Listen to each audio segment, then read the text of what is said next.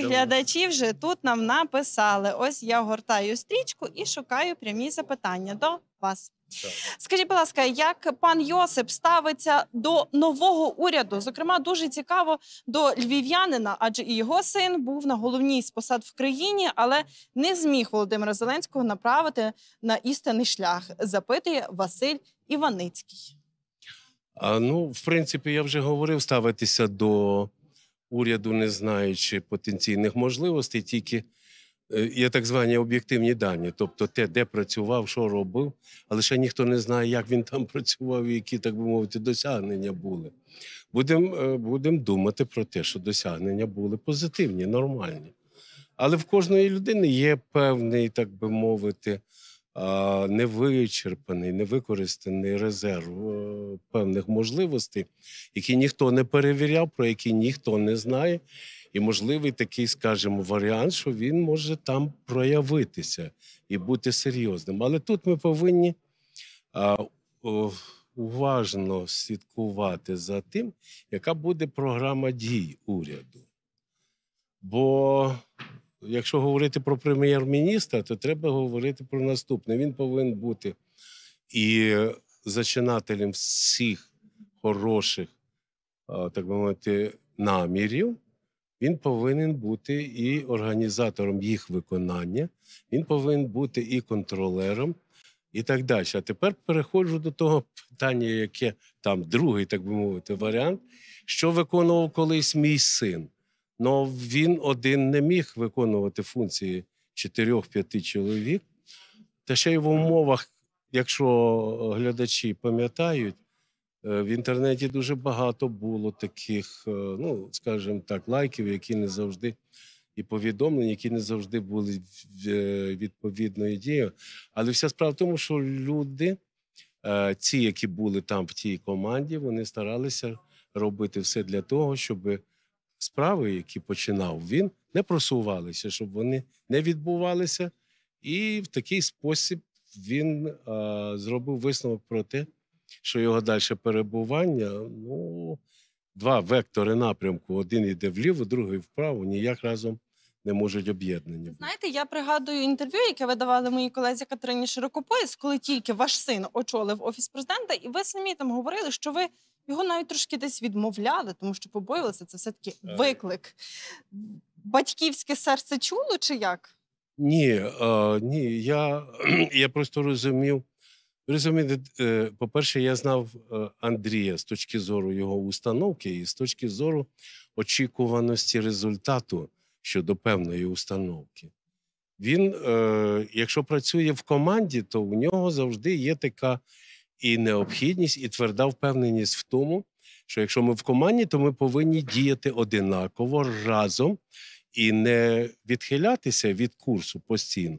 А якщо є потреба відхилитися, то я так сьогодні говорив, це має бути система компромісів, система діалогу, яка виведе на більш правильний е, шлях.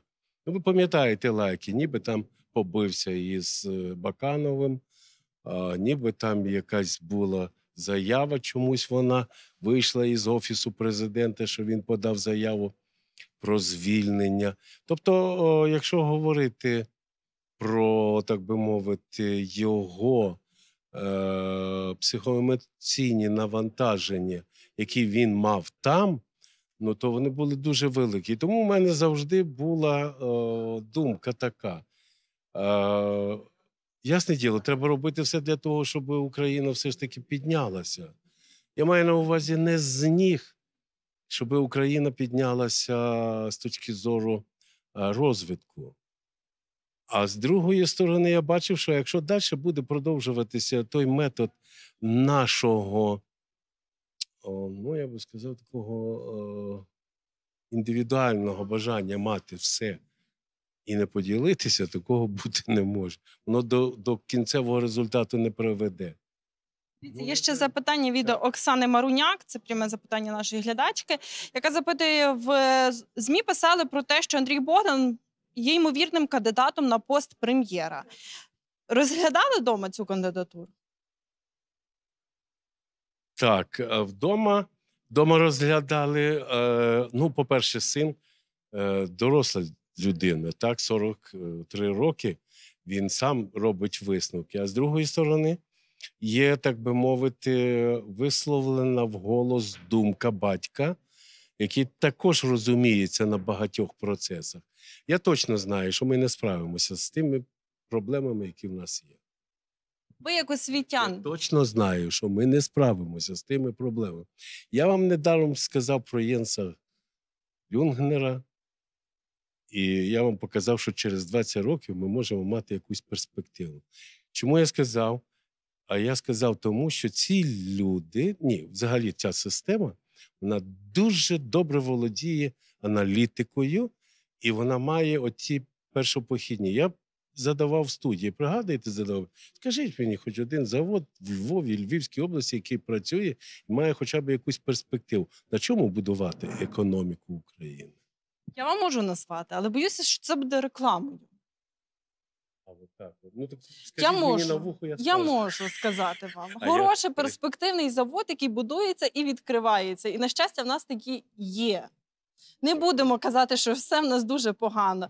Але запитаюся вас, як освітян. Питання, питання не в цьому. Питання не в тому, що ми кажемо.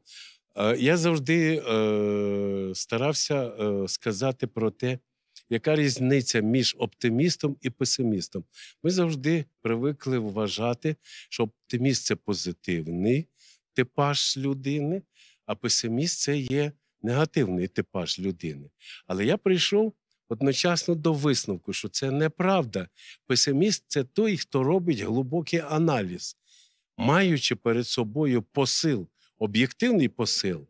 І він приходить до висновку, що треба або щось міняти. А оптиміст це той, який склав руки і каже: подайте, будь ласка, подайте, будь ласка. А такого не буває. Якщо ви знаєте притчу таку біблейську, де віруючий, дуже такий позитивна людина а, в водах е, топиться і звертається до Бога, Боже, допоможи мені. Ну я ж такий е, християнин, такий справедливий, чесний і все. Ну і Бог приходить до святого Петра і каже: е, каже, Петре, скажи мені, що я маю зробити? Я мушу йому допомогти. Але каже, лодка, яку я посилаю, вже п'ять разів повз нього пропливала. Залишалося, і це глибокий смисл. Якщо людина не буде робити, бодай би хоч якогось руху в напрямку того, що Бог, так би мовити, дає як можливість е, використати, зробити все для того, щоб себе врятувати, то тут треба користати тим.